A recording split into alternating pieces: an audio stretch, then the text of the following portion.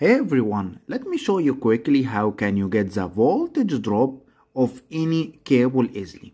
So for example, if you have the wire material, the wire size, the uh, type of conduit, the power factor, the voltage, either a line-to-line -line voltage or a single phase voltage. And if you have, for example, AC, DC or a single phase and number of conductors, the length of the cable and the load which is connected to the cable. After adding all of this information, you can simply click on calculate like this and boom, you have now the voltage drop value in the voltage, how many volts, the percentage, and the voltage at the end of the line, okay, which is less than 5% and it is acceptable. For more videos or more helpful videos, don't forget to subscribe to our channel and you'll find the link of this website in the description of this video.